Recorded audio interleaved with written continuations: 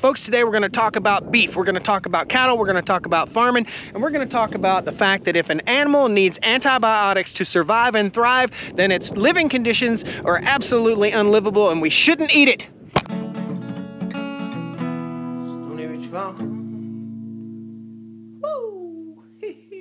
Welcome back to the Stoney Ridge Farm channel. If this is your first time or your 50 millionth time here, please hit that like button, subscribe to the channel. I'd love to have you back here. We are on a first generation farm here in the foothills of the Blue Ridge Mountains of North Carolina. And these are my cattle. These are my beef cows. These are black Angus beef cattle. They're out here eating grass. That's what cows are designed to do. They are herbivores. They are not grainivores. Now, the argument can be said that corn is not a grain, it is a grass. Well, the kernel of the corn is a grain. So let's talk a little bit about that. Let's talk about GMOs for a minute too. Let's talk about genetically modified organisms, not selective breeding, which has made these cows what they are, the tough, hardy cow that lives on grass, that thrives on grass, that doesn't need medication. We're gonna talk about feedlot beef. We're gonna talk about cows, the beef that you're eating from the grocery store that's been waiting ankle deep or belly deep in its own feces and why it has to be medicated in order to stay healthy for you to consume. It's not right. It is absolutely not right. And before we even get started here, I know this is going to irritate some people that are in the beef industry or in the feedlot business. It doesn't matter to me. I don't care if you're irritated by this. You should be irritated. And if it sparks something in you that makes you angry, then it means you're probably not doing something the right way. And if you think it's normal to medicate in order to keep these animals healthy, you're dead wrong. You're dead wrong. These animals do not need to be medicated in order to stay healthy. They need a healthy environment to survive. So again, folks, we're on a 150 acre first generation farm here in the foothills of the Blue Ridge Mountains. I lived downtown seven years ago, okay? So seven years ago, I lived in the city, in a downtown urban environment. I did not like what was going on with my food. I did not like the fact that I hadn't seen a honeybee in years, and I did not like the fact that the garbage I was buying in the grocery store was all GMO nasty stuff. So we raise our own food here on the farm, and we raise beef for others. That's what we do here on the farm. There are no medications given to any animals that aren't sick on this farm. There are no sick animals on this farm. There's no dewormer given to these animals. We use charcoal to worm our cattle. These cows never have to graze next to their own manure. Amazingly enough, they never get a drop of grain. Most of these cows out here have never had the taste of grain ever in their lives. It's unbelievable and we can make good high quality food, high quality nutrient dense beef without having the environmental impact and without having to feed them antibiotics in their food so that they will grow and be healthy. Something is inherently wrong with a food system that advocates for feeding animals antibiotics in order to keep them healthy. If you have your animals in a healthy environment, such as this grass field right here, then you don't have to worm them. Then you don't have to give them antibiotics. Then you don't have to give them steroid implants. So first of all, let's start really quickly with steroids. We're gonna talk about that real quick. Typically, you would band a calf. So if a male calf was born, which would be a little baby bull, you would put a band around its testicles when it's a baby and the testicles are about that big. The band goes around, cuts off blood circulation to the testicle, and they simply drop off. That is the industry standard for castrating a young bull. Now, the industry standard for feedlot beef is to castrate that young bull and to put an implant in its ear. There's a little rod that has steroids that you put in its ear. In other words, we're taking away the very thing that produces the testosterone in a bull calf and then we're putting it back as an artificial hormone in the bull calf. We don't do that here on the farm. We wait until our cows are a little bit older. Our young bulls are just prior to breeding age, and that's when we band our young bulls. We band them after they've utilized the testosterone and growth hormone to grow the animal naturally, and we don't have to use an unnatural source of testosterone to make our animals grow. Does this make sense? I think it does. Now, let's talk about, and we'll get to the GMOs and we'll get to grain and we'll get to talking about this for sure. These cows are ruminant animals. It means they have multiple chambers in their stomach and they're basically digesting food parts, which is undigestible to us. So this grass is absolutely undigestible to the human species, but it's absolutely digestible to the bacteria that's in this ruminant animal's stomach. So these are big fermentation tanks. Now, if you drink beer, you know about fermentation. If you drink wine, you know about fermentation. If you have apple cider vinegar, you know about fermentation. But nobody's talking about the methane that's produced from anything other than cows as an environmental impact. Now, these cows burp. That burp and the gas that the cows pass contains methane. Matter can neither be created or destroyed here in this planet that we live in. So if matter can neither be created or destroyed, all we're doing is moving around various atoms and making methane methane which is already here. Matter doesn't get created or destroyed, so it's already here, guys. I don't understand how these cows can have that much of an environmental impact. I do know what comes out of the backside of these cows, and by the way, no fertilizer on this land for the last six years. No fertilizer, no glyphosate, no sprays, no dewormers, no medications. We treat the sick, we don't treat the well. We treat the land with the butt fertilizer that comes out of these cows. So what I need to express to you is if you're eating food from the grocery store simply because it tastes good, then why not just go eat anything? If you want high quality protein, if you want unadulterated protein, then buy your beef from a local cattle operator similar to me that doesn't over medicate their animals. So Let's go into the detail of feedlot beef. The average cow-calf operation, is, and that's what we started out doing. We had cows, those cows would have calves, at about seven to eight months old. We would take those calves to the market. The market would buy the calves and then take them to feedlots and they would feed those animals up until they got real big and fat and then take them to process. In that process of feeding them until they get real big and fat, they give the steroid injection in the ear. Okay, so they'll castrate and put the steroid um, rod in the ear. They will also feed these cows antibiotics in their food to help stimulate growth. Not only does it help prevent disease, but it helps to stimulate growth in the beef cow and it makes a super mega cow. Now we're feeding grain. These cows were not designed to digest grain. They're herbivores, not grainivores. They're not designed by nature to digest grain. So we upset the rumen in the stomach of the animal. We feed the animal what it's not genetically designed to eat and therefore we have to pump it full full of steroids and antibiotics and GMO grain.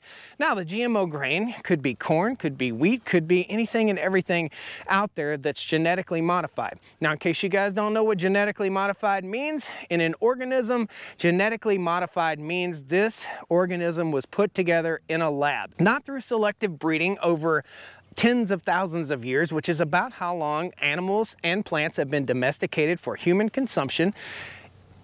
We're going in and we're pulling DNA from this animal, which would never breed with this other animal or plant, which would never breed together in nature. They would never cross paths in nature. And we're pulling various pieces of DNA and we're splicing those in. Why are we doing that? Well, for some good reasons to help promote more vitamins in food. For some bad reasons, so we can spray them and make it easier. So we're spraying the corn that these animals would be fed on a feedlot with glyphosate. So let's review here. So the food that you're buying in the grocery store, the beef that you're buying in the grocery store is not beef like this unless it's non-GMO, grain-fed, certified organic beef. That is my spiel. Buy non-GMO, certified organic grass-fed beef for the nutrient content in that beef. If you're buying for flavor, then you can just eat anything. You could put salt on cardboard, I guess, and eat it and call it food. To me, the value in buying your groceries is spending the amount of money you need to spend to get the amount of nutrition that you need to get out of your food. There are higher levels of vitamins in grass-fed beef. There's higher levels of vitamin D for sure because these cows are out here in the daylight. So you're buying beef in the grocery store. That beef was most likely raised on a feedlot. That beef was given GMO food. That cow was restricted to a small area so that it got big and fat quick. That cow most likely got antibiotics in its food. That cow most likely, or steer most likely, has had hormones added to its food or placed in its ear or somewhere under the skin of that animal to help it to grow. Do you want steroid super beef or do you want real natural grass-fed beef? That's a decision that you have to make as a consumer and you vote every single day with your dollar. So in review, guys, we're out here and I am irritated with the food system in this country. I'm irritated with the fact that you can do virtually whatever you want to do to these animals and call it food and call it beef. Now, if you like corn-fed beef, that's fine. You want to corn feed your cow, that's fine.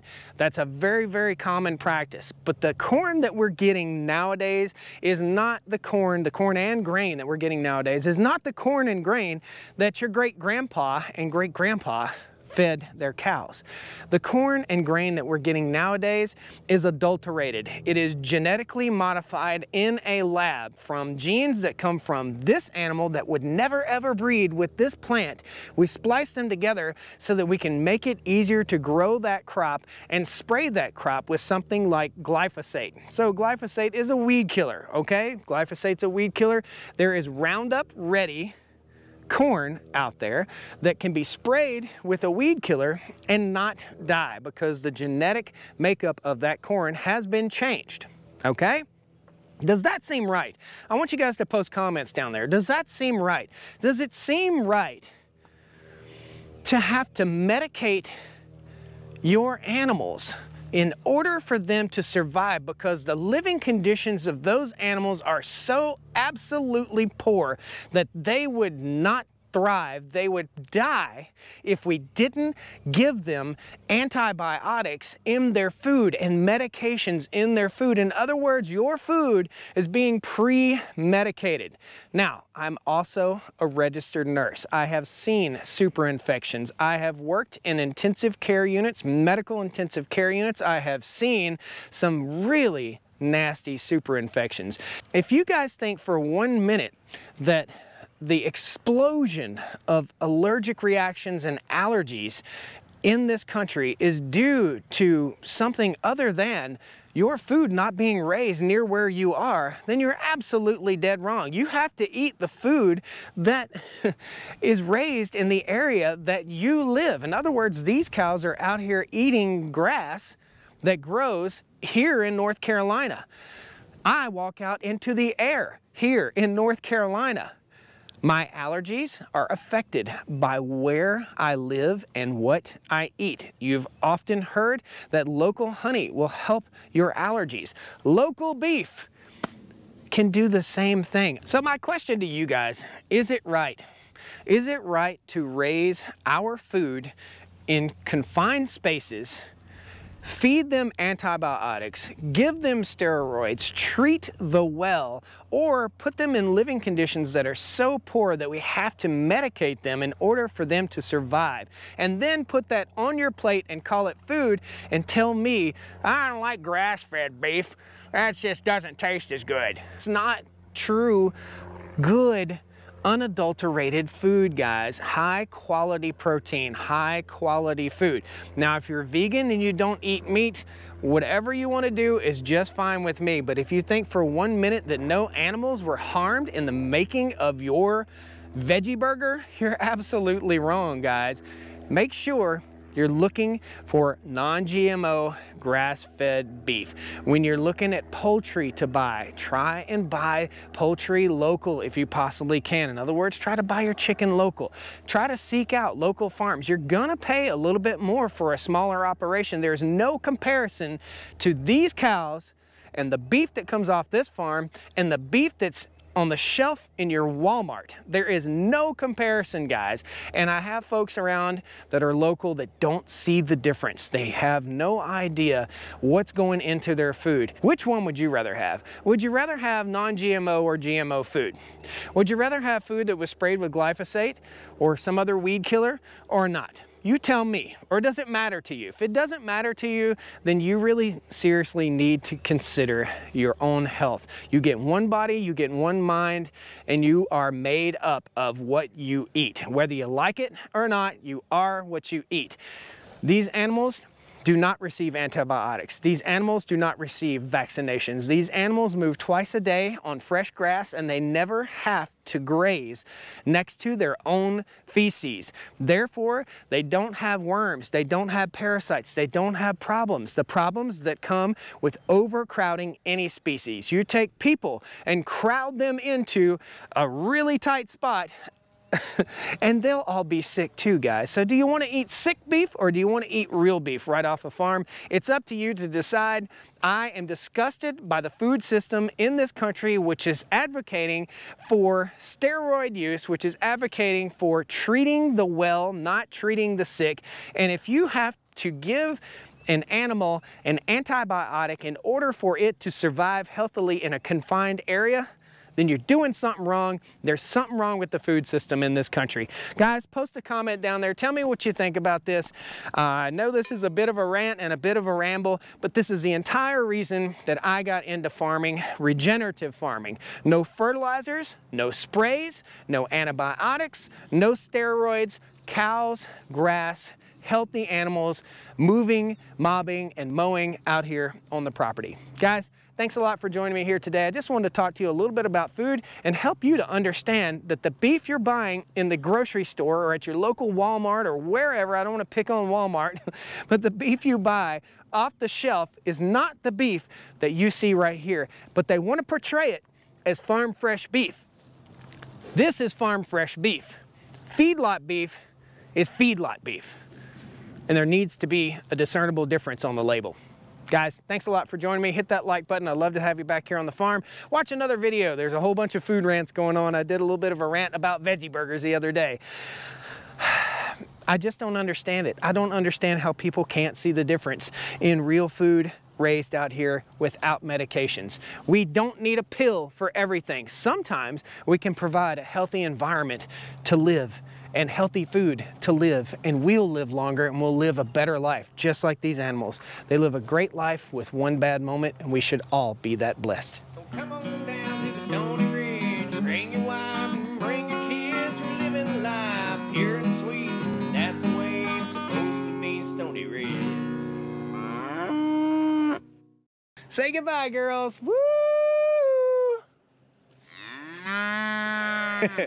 See you guys. Have a great day. Thanks for watching.